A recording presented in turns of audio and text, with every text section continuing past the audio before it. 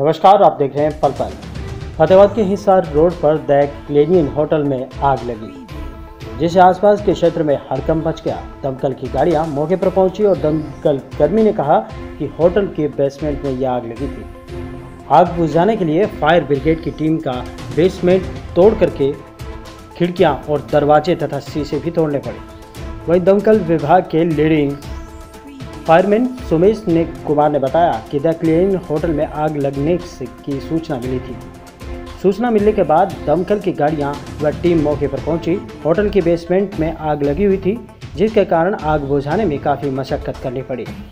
जहाँ पर चारों तरफ़ धुआँ ही धुआँ भरा था। वेंटिलेशन करने के लिए फायर ब्रिगेड की टीम ने होटल की खिड़कियों और दरवाजों को तोड़ा, जिसके बाद आग को बुझा दिया गया। हालाँकि मौके पर आग लगने के कारणों का भी पता नहीं लग पाया। प्राथमिक तौर पर बताया गया कि एसी जलने का पता लगा।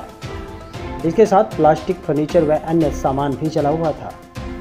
आग लगने की घटना जब हुई उस समय होटल में कार्यक्रम चल रहा था।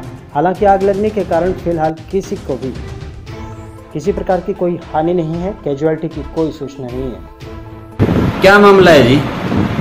हमें एक बज के चालीस मिनट में सूचना मिली थी कि क्लेरियन होटल में बेसमेंट में आग लगी। गाड़ी लेके वहाँ पहुँचे जी।